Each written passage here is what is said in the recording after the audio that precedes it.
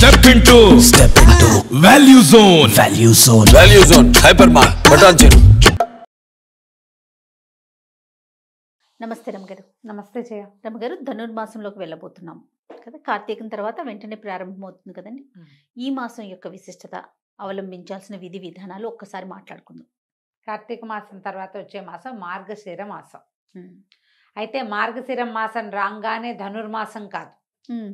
మార్గశిరంతో సంబంధం లేదు దానికి.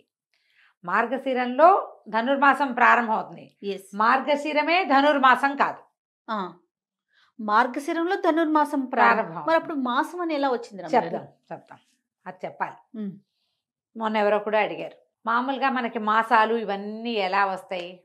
చాంద్రమానం ప్రకారం. అంటే చంద్రుని యొక్క కదలికలతోటి మనం. కళలు పెరుగుడు తగ్గుడుతోటి తిథులతోటి తయారవుతుంది.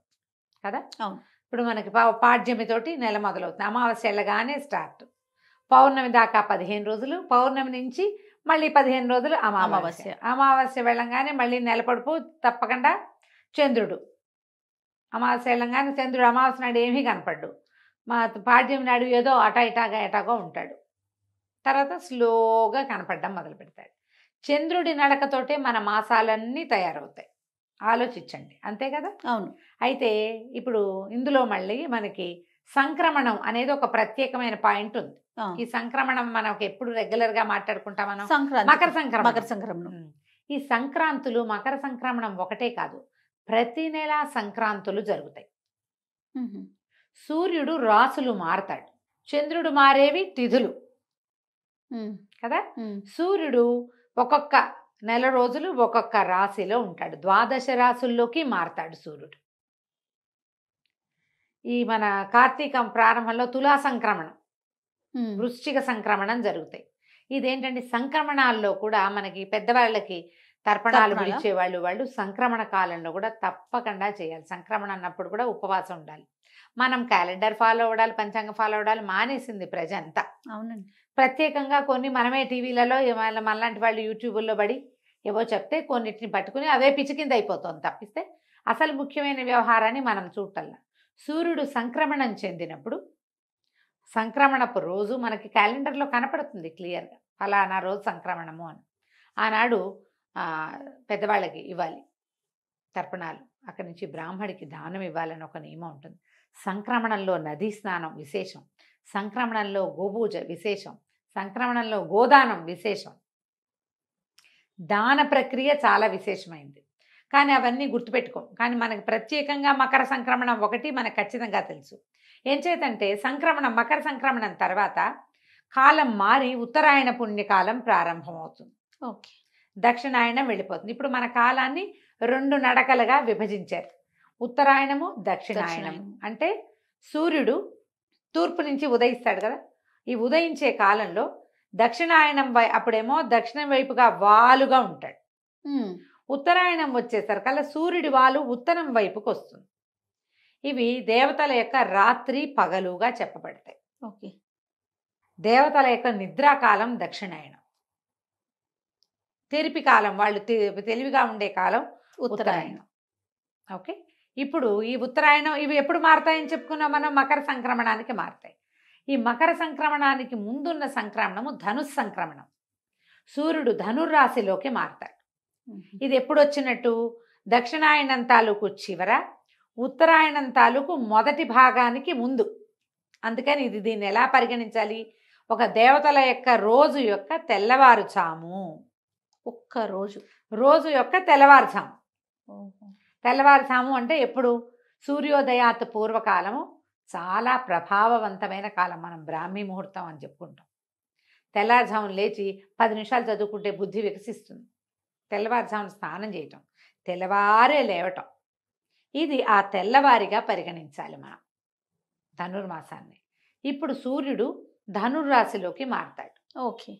ఇప్పుడు మార్గశిరం మొదలవగానే అవదు మార్గశిరం ఎట్లా మొదలైంది? చంద్రుడు అమావాస్యతో వెళ్ళిపోయి పాడ్యమితోటి మొదలు పెట్టడంతో కా మార్గశిర మాసం మొదలైంది. నెంబర్ వన్ మార్గశిరం వచ్చాక ఏడు రోజులకో ఎనిమిది రోజులకో తొమ్మిది రోజులకో మనకి సంక్రమణం జరగచ్చు. ఈ సంవత్సరం ఏం జరిగింది? మనకి అధిక శ్రావణం రావటం వల్ల. మార్గశీర్షము రావడము సంక్రమణ. జరగటము దగ్గర దగ్గరగా అయిపోయింది. అవును. మనకి కార్తీక మాసం పన్నెండో తారీఖుతో అమావాస్య అయిపోతుంది. పదమూడు మనం పోలిపాడ్యమి చేసుకుంటాం తెల్లవారుజాము పదమూడు పద్నాలుగు పదిహేను మూడు రోజులు మార్గశిరంలోనే గడుపుతాం. పదహారో తారీఖు సంక్రమణం జరిగిపోతుంది. ఓకే. డేట్లు కొంచెం ముందు వెనక అవుతాయి కానీ పదహారో తారీఖు సిద్ధమే అందులో మార్పు లేదు.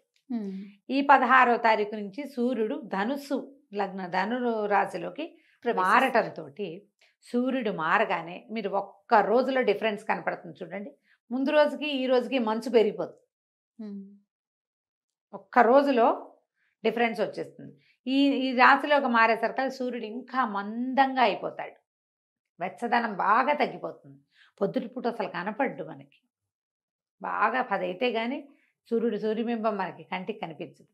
ఈ సమయం పూర్తిగా పురుషోత్తమ మాసం అని చెప్పబడేటువంటి ఈ ధనుర్మ మార్గశీర మాసంలో విశేషంగా విష్ణు పూజ చేయవాలి చేయాలి. మధుసూదన నామధేయంతో విష్ణువు కొలువై ఉంటాడు. దీనికి మనకి భగవద్గీతలో చెప్తాడు మాసానాం. మార్గశీర్షోహం అని చెప్పాడట కృష్ణ పరమాత్మ. మాసములలో మార్గశీర్షము అత్యంత పవిత్రమైన మాసం అని చెప్పాడు. దీనికి ముందున్న కార్తీక మాసంలో శివ పూజలు చేస్తూ కార్తీక దామోదర ప్రీత్యర్థం అని చెప్పుకుని పూజ చేసుకున్నాం మనం. అవును.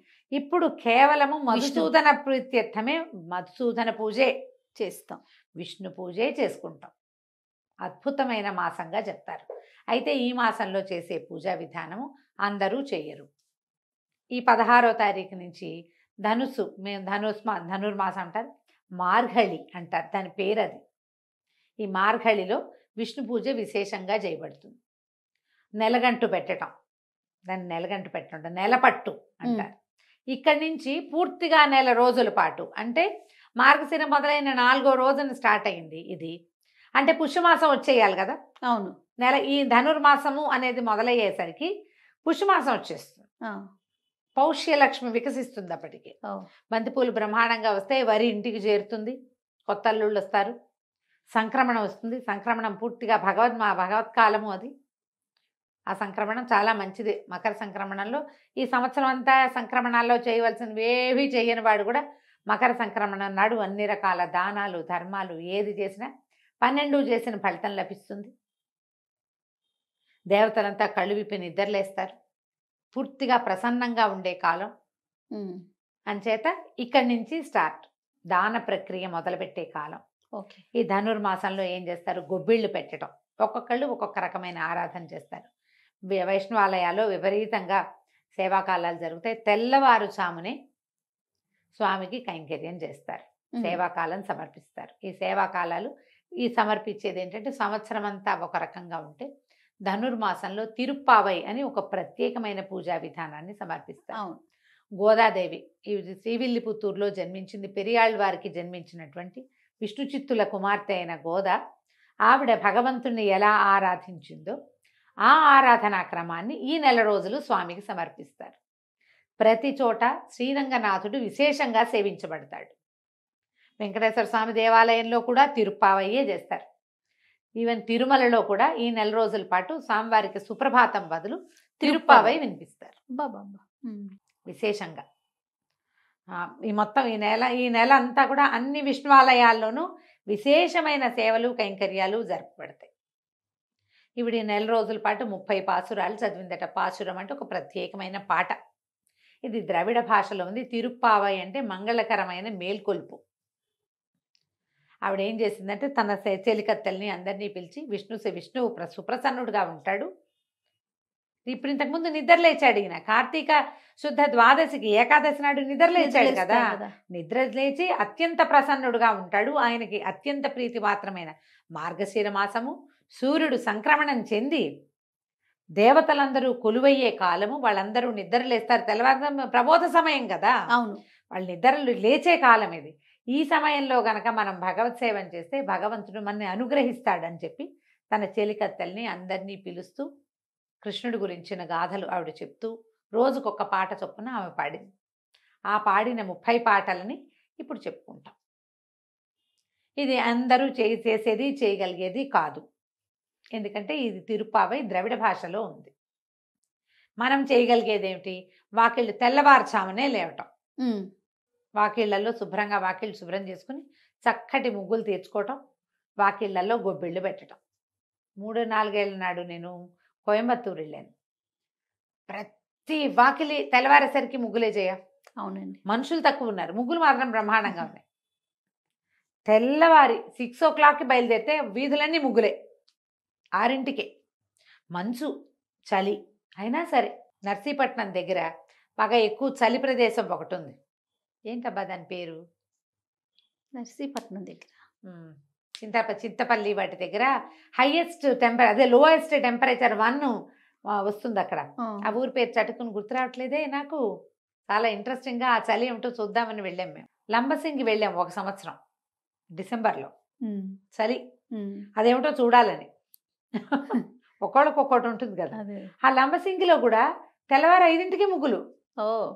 చలి చచ్చిపోతున్నాం. వన్ వన్ ఉంది మేము వెళ్ళిన అవును. జీరో వస్తుంది చూద్దాం అనుకున్నాం. అంతకు ముందు రోజు వచ్చిందట మేము వెళ్ళిన రోజు వన్నే ఉంది.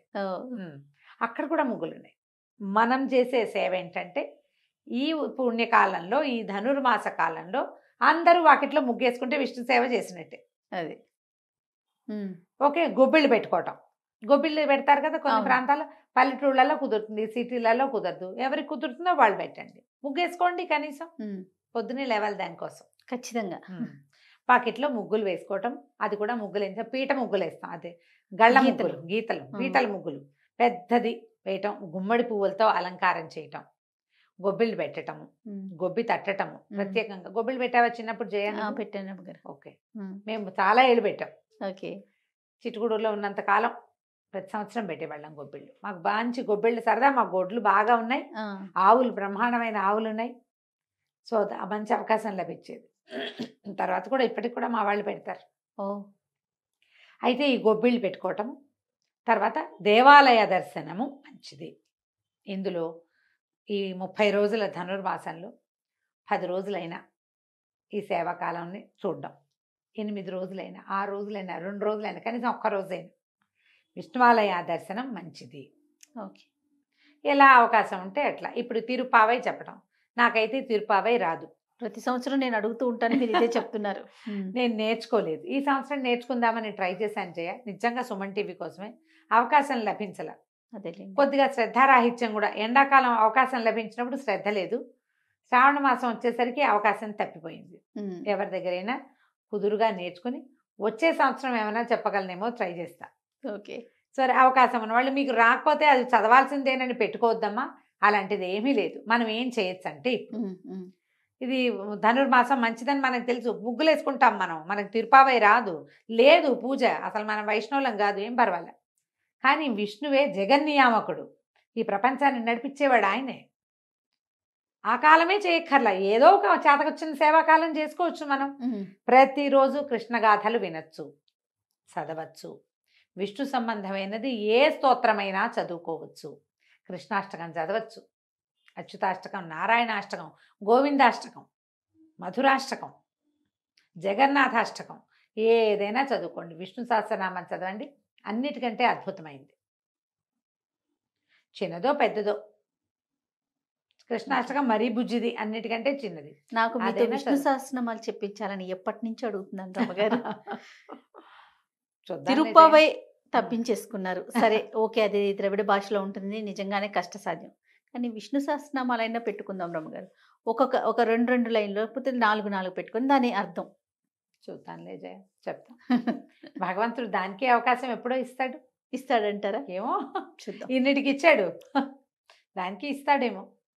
మీ మీ అవకాశాలను బట్టి ఎక్కడ మన దగ్గర వేణుగోపాల స్వామి గుడి రామాలయము తర్వాత వెంకటేశ్వర స్వామి గుడి నరసింహస్వామి గుడి ఏ సే దేవాలయానికి వెళ్ళినా సేవాకాలం జరుగుతుంది తప్పకుండా.